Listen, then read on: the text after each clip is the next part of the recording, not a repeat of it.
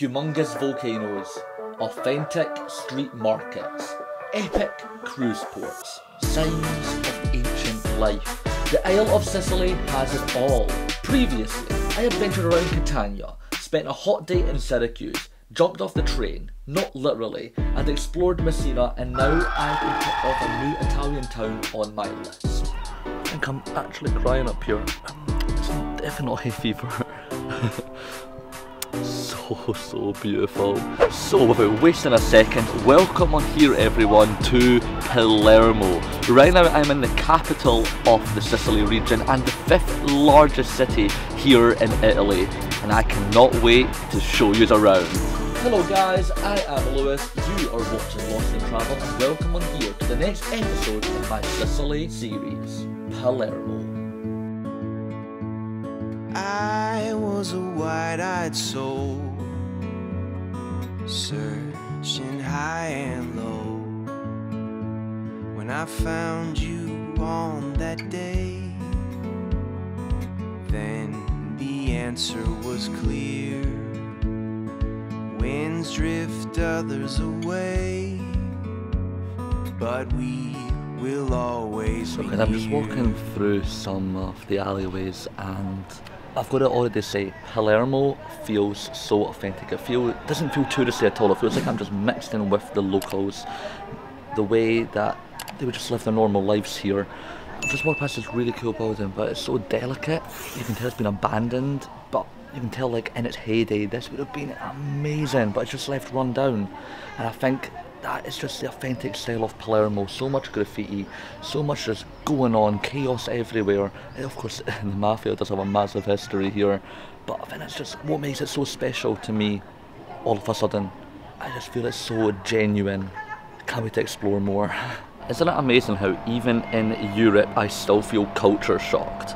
Like, Italy's not even that far away from us, but the difference in the way my lifestyle is to the people who live here is so significant. It is quite mind blowing, to be honest. Not in a bad way, but just in a how is life so different when they're literally only across the water? It is just crazy to me. But anyways, um, it's one thing I love about Italy and coming here is just the difference in the way of life and just being able to immerse yourself in that. I already feel like I'm becoming a bit Italian. I'm just walking across roads left, right and centre now without a care in the world.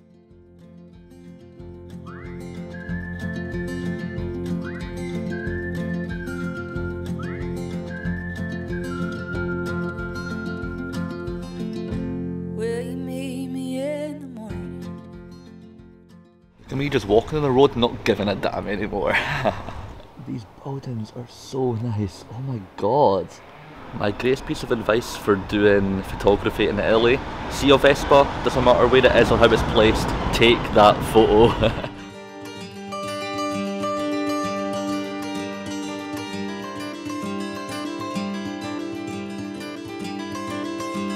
I have walked about 20 minutes away from my accommodation. I'm going to start the furthest away and work my way back. And right now I am in Villa Giulia, which is a nice free, every, it's always nice when it's free, public garden here. And I came for a stroll. I've heard there's a cafe, so I'm going to go to see if I can invite myself there and have something to eat and a nice refreshing drink because it's a really hot day today. It's been quite humid, so I'm already sweating like mental.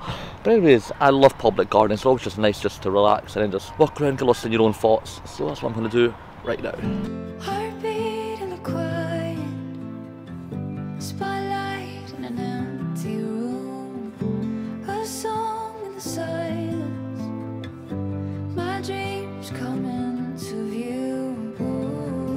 I just want to mention something to you guys about obviously solo travel and only traveling with hand luggage. That was the restriction I've put on to this trip. I've only came with just my backpack and that, that means I'm limited with a lot of stuff. I'm getting my host of the accommodation right now to be washing my clothes thankfully he said yes to that. I just told him the whole situation about how long I'm away for and I've only came with hand luggage so you know I need my pants and he's thankfully doing that today but I also had to limit myself on lenses and of camera equipment. If I really wanted I could have everything I've got my bag would literally just be full of camera equipment and no clothes. I could just walk around nude and just with all of my, at least I'll get the good photos.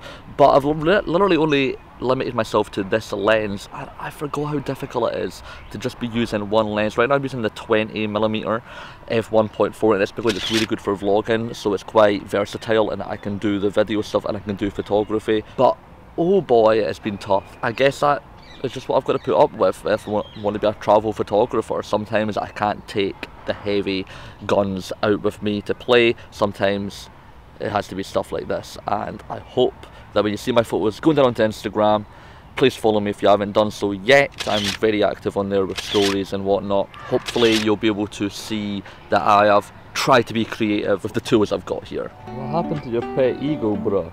Girl, I found your eagle head over here. Was it uh, something I said? It's how you feel after watching 10 Lost in Travel videos back to back. I've got to say, it's a good thing that weeping angels don't exist, or I guess I may be screwed. Or do they? Don't blink. So this again, just like back in Syracuse, is giving me very Greek vibes with the statues and just the way it's all laid out. And I guess that just proves how significant Sicily was for um, the ancient history, the ancient world. How, like Sicily was the point where it's been owned by the Romans, it's been owned by the Arabs, it's been owned by Greeks, it's been owned by Phoenicians. Like Sicily is just at that central point where I think back in the ancient world everyone wanted to colonise this place. So it's got a mixed range of architecture and I think that is what I've been loving so far about my Sicily trip. Just seeing this wide range of ancient history just thrown right into my face. Guys, this is what I'm talking about when I told you I feel like I'm just walking through different cultures. Welcome to ancient Egypt.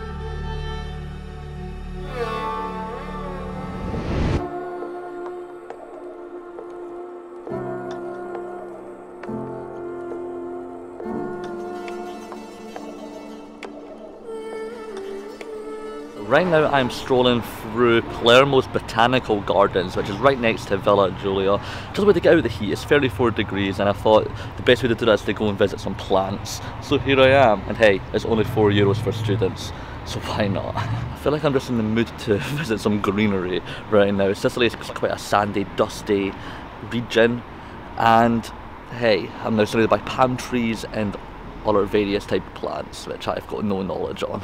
Why did I choose the path that is covered in palm tree leaves to walk through to get to the other side?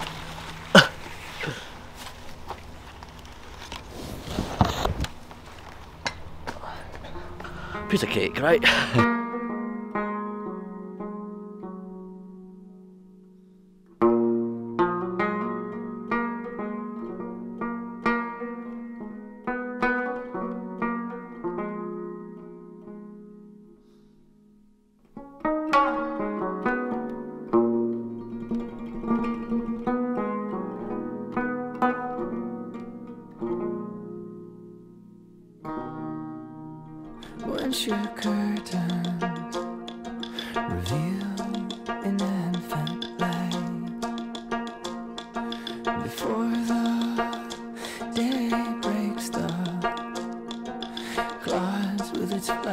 flagpole in the soil.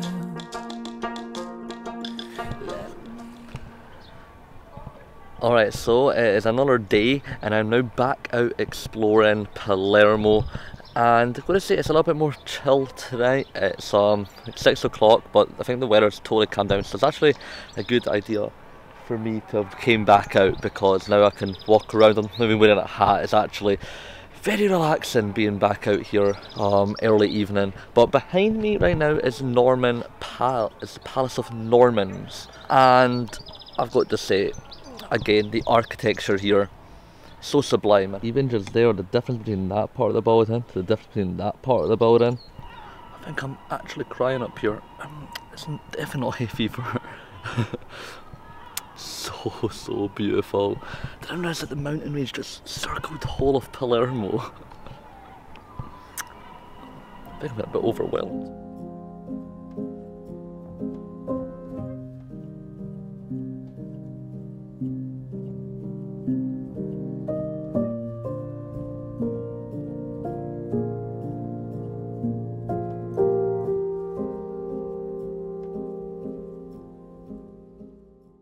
Goodbye, Palermo apartment.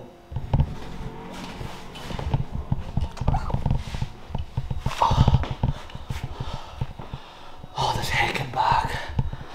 It's gonna be a little death in me, man. So, today is my final day here in Palermo.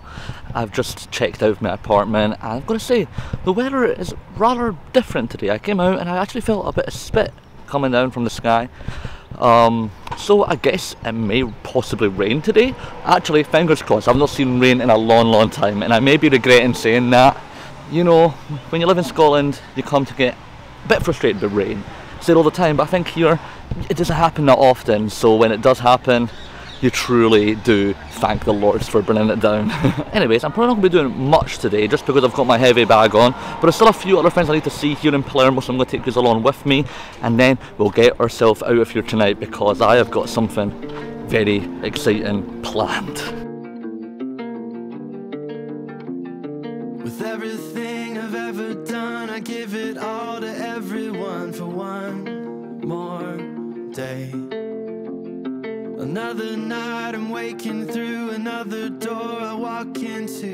So I finally finished walking down that high street here in Palermo. Such a long high street. I'm actually quite knackered from doing that. But I was, to be fairer, I was walking in and out to get some nice photos because there's so many nice cute alleyways and cafes and picturesque restaurants dotted all over the high street. So I was trying to just nip in and out of the crowds and get all of those images.